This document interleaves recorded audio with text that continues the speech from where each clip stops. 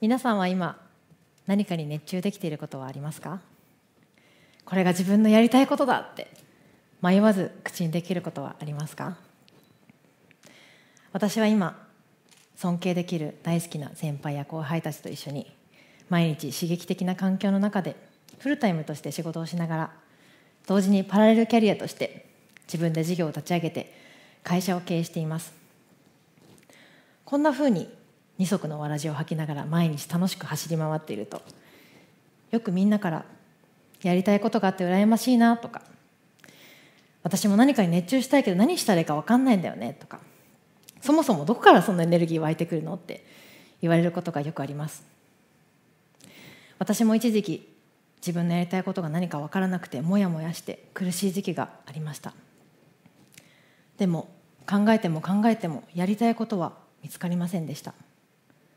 それはやりたいことは探しても考えても見つからないからです。今日は私が今までの人生の中で見つけてきたマジック・オブ・トライングやってみるの魔法について皆さんにお話しできればと思います。私は幼い頃から生き物が大好きでした。図書館に行っては蝶々の図鑑を借りて眺めて通学中には毎日キャベツの葉っぱの裏を見て卵を見つけて道路にカマキリやトカゲがいたら連れて帰る。そんな生き物が大好きな子供でした。そんな私は高校生の頃人生を変えるほどの大きなワクワクに出会いました。それはとある高校生物での授業での出来事でした。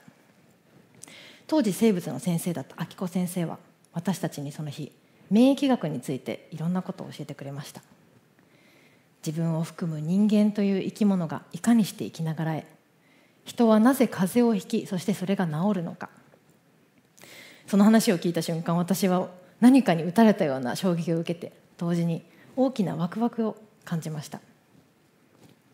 それから明子先生は私たちに免疫学を超えた生命科学という分野についてもいろんなことを教えてくれました。人の情報は AGCT というアミノ酸でできた DNA ゲノムに書かれているということ。その情報を書き換える技術もすでにできているということ。それを聞いて私は生命科学という分野にすごく興味を持って大きな好奇心を持つともにロマンを感じました。私がこの免疫学や生命科学に感じた何でか分からないけどめっちゃ面白いと思う本能的に感じるこのワクワクの感情のことを私は spark joy と呼んでいます。私がこの高校の授業の時に spark joy を感じたのはほんのきっかけに過ぎません。でも私は運よく明子先生という素晴らしい先生に出会えたことでこのきっかけを好きに変えることができました。明子先生は毎日毎日私が大量の質問を授業の最後に持っていく私に対しても嫌な顔せず全部親身になって答えてくれるそんな素敵な先生でした。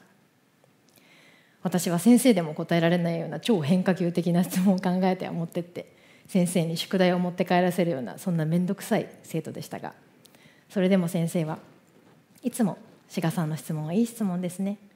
面白い視点ですね。私も分からなかったので勉強してきますと言って毎回次の授業の時に答えを持ってきてくれました。私の好奇心に真正面から向き合ってくれるとっても素敵な先生でした。私は先生のおかげでこのスパークジョイを感じたところ生命科学に対してすごくこの分野が大好きになっていました。生命科学の虜になっていました。私はその後大好きな生命科学を続けていくことになり大学では乳がんの研究をして大学院ではウイルス性の血液がんである白血病の難病研究に道に進むことになりました。なぜ人はがんになるのかそのメカニズムを解明していくこの生命科学的な視点から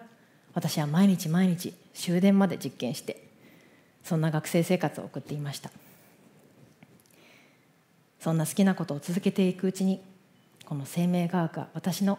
やりたいことになっていました。でもやりたいことを見つけるのって難しいってよく言われますよね。なんで私はやりたいことに出会えたのでしょうか。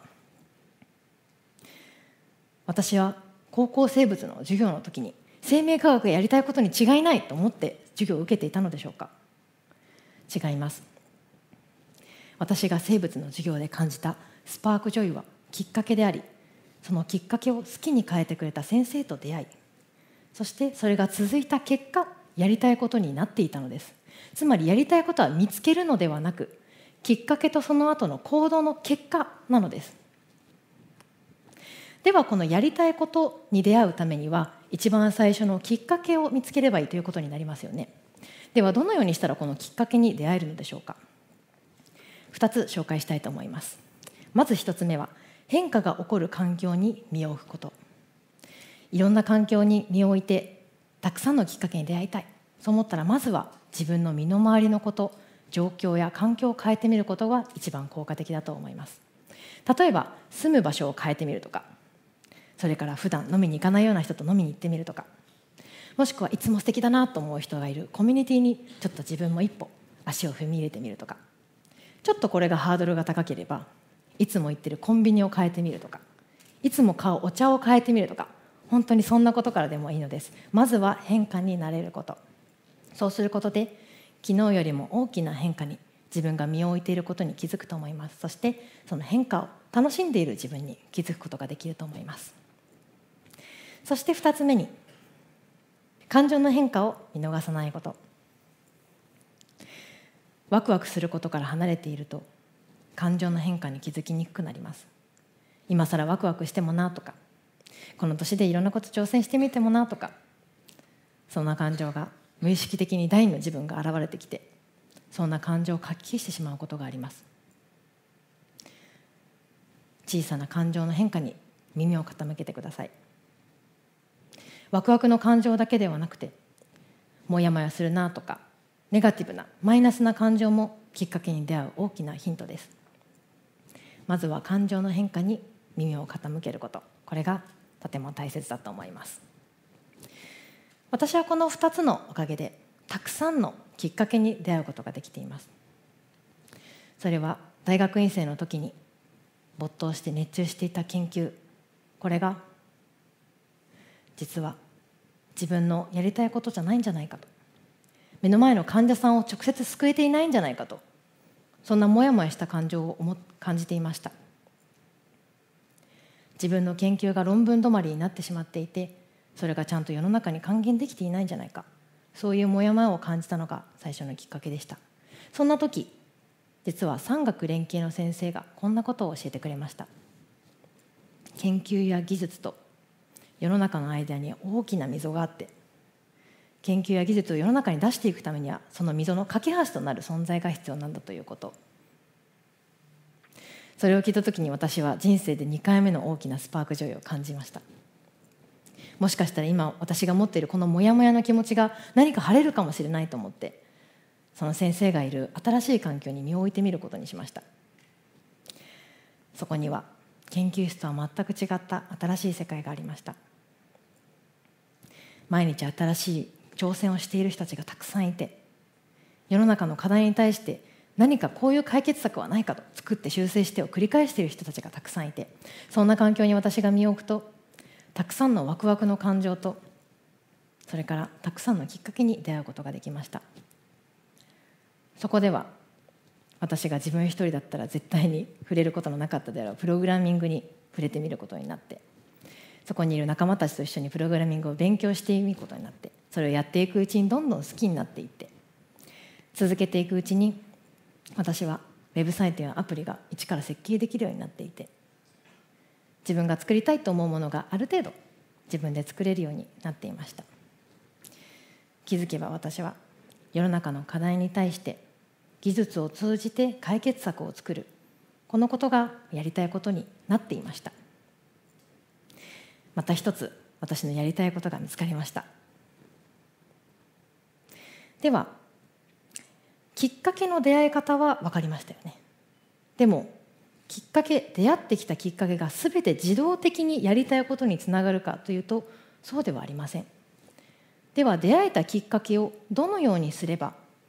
やりたいことにつなげることができるのでしょうか。ポイントはまずやってみるということです。変化が起こる環境に身を置いて少しでも自分の感情の変化に気づいたら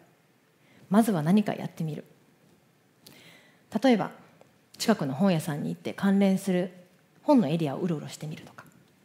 ネットで検索して関連するセミナーやワークショップに参加してみるとか常に新しいことに挑戦しているそんな友達に会ってちょっと自分の話をしてみるとかそうするとそこにいる人たちが「なんかこういうのやってみたら?」とか「こういう人いるからちょっと一緒に話聞いてみようか」とか。あなたの背中を少し押してくれるかもしれません。そうしているうちにそのやってみるが次の何か新しいやってみるを生んでいてそれがまた次のやってみるを生んで気づいたらそれはあなたのやりたいことになってるかもしれません。これがやってみるの魔法です。やってみるの魔法が効かない場合もあります。少しお話しさせていただきます。それは機能的思考で行動する場合です。どういうことか。行動には2パターンあると思います。機能的行動と演繹的行動です。急に難しい言葉出てきましたね。説明していきます。まず目標や目的が明確にあってそこから逆算していって今の目の前の第一歩を決めるという考え方を機能的行動と呼びます。例えば受験に合格するというのが明確な目標目的だとしてそこから逆算すると合格するためにまず問題の正答率を上げる。そのために問題集を解く。そのために鉛筆を握る。このようにして目的が明確な場合は今のこの目の前の一歩が明確である場合が多いです。そのためやってみるの魔法が聞きにくくてどちらかというと今明確にある目の前の一歩をやるという方が効率が良いということがあります。逆に目の前のことをやってみてそれを積み重ねていくことで結果につながっていたという考え方を演繹的行動というふうに言うことができます。まさに今回お話ししているやってみるの魔法はこの演繹的行動のことを指しています。目の前のことはまずやってみる。いろいろやってみるとそのうちの一部が好きになっている。そのうちの一部が続いて結果としてやりたいことになっていた。これが演繹的行動のことです。ただ目の前のこの一歩やってみるが必ずやりたいことにつながるかどうかわからないのでやってみるの母数を増やしてみる必要があってさっきの機能的行動よりも少し非効率的に見えるかもしれません。ですがやりたいこととか目的が明確ではない場合何がやりたいかわからないとなっている場合にはまずは目の前のことをやってみるという演疫的行動も実はむしろ効率がいいんじゃないかというふうに思っています。ちなみにやってみたけどやりたいことではなかったということもざらにあります。私はレジが好きでした。スーパーのレジ打ちのレジです。レジが大好きで小さい頃からホームセンターに行ってはよく両親に業務用のレジを買ってくれとせがんで毎年毎年サンタさんに「レジをください!」ってお願いしたんですけど 人生で一回もレジが届いたことはありませんでした。でもどうしてもレジ打ちがしたくて大学生になってようやくレジ打ちのバイトをすることができました。やってみたんですけどあんまり好きになれずそんなに続かず結局レジ打ちは私のやりたいことではなかったということが分かりました。このようにやってみるを続けていって好きになれるかどうか継続するかどうかでそれが自分のやりたいことかどうかを判断できるというのもやってみるの魔法の効果です。やってみたけどやりたいことではなかった。つまり逆に言うとやりたくないことが見つかった。ということですね。これもやってみるの魔法の効果です。このやってみるの魔法のおかげで私は今とっても生きがいに感じることに出会えています。それは自分の会社で信頼できる仲間たちと一緒に開発しているブランドエッグです。女性の社会進出が進み晩婚化晩産化がどんどん進んでいく一方で女性の妊娠リミットという生物学的な進化は進んでいません。いつかは子供が欲しいけど今今は仕事を頑張りたい。そう思う女性が増えた結果今日本では5.5組に1組が不妊治療で苦しむ。そんな世の中になっています。出産や子育てが原因でやりたいことを諦めるそんな世の中は作りたくない。やりたいことを諦めることのない世界を作りたい。そう思って私は事業を立ち上げました。私もこの悩みを持つ女性のうちの一人でした。私は大学院まで進学していたので会社に入社したのが25歳の年でした。そこから3年ぐらい経って仕事ができるようになってきて楽しくなってきたタイミングで28歳。その時私は海外勤務海外駐在というキャリア積んでいきたいと思っていました。そこから1年後ぐらいに行けたとして3年から5年の海外アサイメントで日本に帰ってきて結婚出産と考えると私は一体何歳になったら出産できるんだろうすごく不安になりました。キャリアかライフかどちらかを選びどちらかを諦めなければいけない。そんなことに不安や憤りを感じたことがきっかけでした。そこから私は何もアイデアがないまま東京大学のファウンド X というプログラムに入ってそのその中で出会った人たちに、まあ、とりあえず何か話してみたらって言って産婦人科の先生を紹介してもらってその先生に私まだ何もアイデアもないんですけど自分の思いを伝えてみてそしたら一つのあるアイデアが思い浮かんでそのアイデアをいろんな人に話していくうちにそのアイデアが好きになっていってそこから経済産業省の指導というプログラムにこのアイデアを磨き上げに持っていってそこからレッド関西というプログラムでいろんな人に話をさせてもらってそしたら35社もの企業さんからサポーター賞をいただくことができてその後米国総領事館から領事館賞をいただくこともできました。大好きなアイデアが続けていくうちにやりたいことになっていました。私たちは今女性の体に残された卵子の数を計測する血液検査キットを開発しています。大好きな生命科学の観点からこの大きな課題の解決に挑戦しています。自分の卵子を知ることで自分の卵子の数を知ることで今を知って自分と自分の大切な人とのこれからを考えるきっかけを提供できると信じています。性別にかかわらずやりたいことを実現できるそんな世の中を作りたい。これが今の私のやりたいことでありやってみるの魔法で得た生きがいなんだと思います。皆さんは今何かに熱中できることはありますか？これが自分のやりたいことだと。迷わず口にできることはありますか？マジック・オブ・トライングやってみるの魔法。今日からあなたは魔法使い。今皆さんが感じている小さな感情の変化がきっかけです。さあ今から何をしますか？ありがとうございました。